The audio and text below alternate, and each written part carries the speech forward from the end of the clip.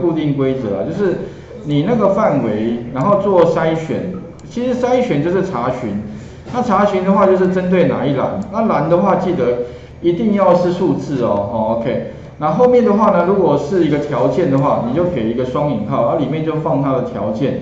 那这个条件的话呢，如果是数字，后面如果是数字的话，那通常前面是会加那个什么大于啦、等于啦、小于啦等等的符号，OK 哈。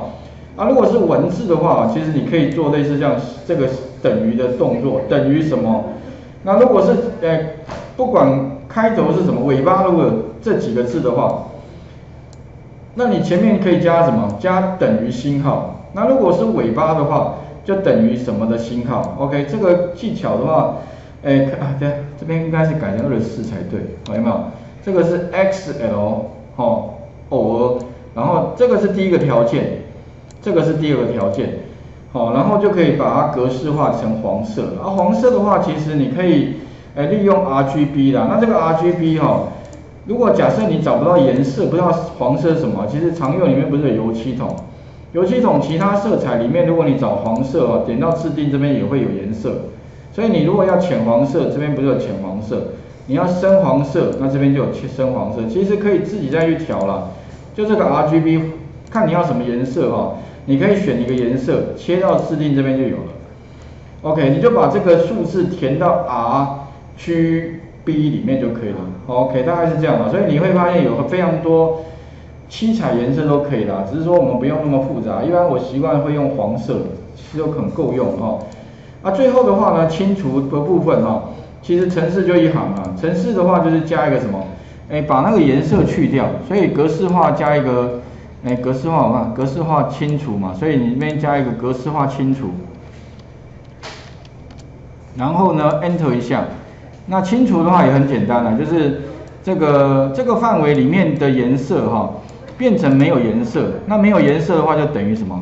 等于没有，没有的话在这边就是 XL none，这个就没有颜色。所以如果你假设要把颜色清掉的话，这样就清掉了。好，哎，不过特别注意哦，刚刚这个格式有没有？像刚刚同学这个，如果假设你加了，哎，奇怪为什么还是没有东西出现哦？那可能就是你刚刚这个格式哦，设定格式化条件没有清除。整张规则哦，因为这个规则的话，它一定是浮在最上层的。也就是说，你现在即便加什么格式上去，也没有办法把它去掉哦。这个可能要特别小心，它是是等于是最上层的。OK，这个哦，那最后的话呢，你可以再加一个什么？加一个条件。比如说我要针对二零一零年去做筛选的话，那这边的话我们可以什么？再加一个筛选年份的条件。那比如说呢，第六栏如果是呃。二零一零好了，那我可以怎么样，在这边加一个哦，筛选条件。假如是二零一零的话，第六栏如果是二零一零，帮我把它变成黄色，OK 哈。那我这边可以把它执行，执行过的话，你会发现二零一零的话，就全部都会变成黄色，有没有？啊，当然了，一样啊，你可以甚至哦，你想说，哎，老师，那我可不可以像刚刚，哎，那个筛选格式化不要年份，我要筛选提名，可不可以？其实当然也可以啊，好，要把它清，把它恢复的话就这样恢复。如果我要把它改成什么格式化提名好了，这边把它改成提提名的话，哎，那一样嘛哈，提名。然后呢，只要针对第几栏呢？哎，第二栏，所以这边改成二。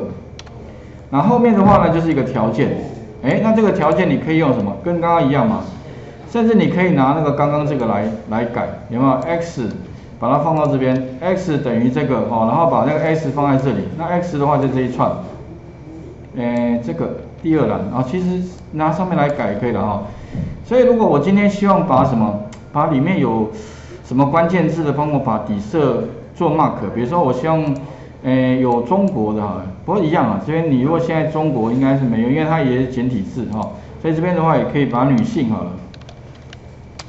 哦，有女性的帮我把它底色改一下，有没有？有女性的，哎，你会发现这资料就出现了。哦，啊，如果没有，它就不会帮我把它做底色填满。那清除的话一样清，这个就清除完毕了哈。那所以我们一样可以再增加按钮哈。那另外的话，这个按钮部分请各位自己再加了哦。加的方法当然就是插入这边有按钮嘛，有没有？你就直接这边拖拉就可以了。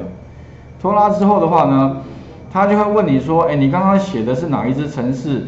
你按下去要执行呢？那我们刚刚是叫做格式化提名筛选这个，好，比如这一个，好，那另外把上面的名称复制，确定之后的话呢，哈，再把这个名称贴到上面去，这样子就完成了。OK 哈，比如提名，所以刚刚呢按下提名，哦，它就会跳出这个嘛。那我刚刚是输入女性的，哦，它就 OK，那按确定，它就有了。然后清除的话就清掉了。OK。所以这样的话呢，哦，就比较可以让你方便的在大量资料里面快速找到你要的东西了。OK，所以请各位试试看，好，两个两个部分啊，一个是，呃，输入关键字，然后把不需要的地方把它隐藏起来。那一个是什么？一个是把你要看到的东西 mark 起来，那其他的地方不要隐藏。OK，那画面先还给各位哈。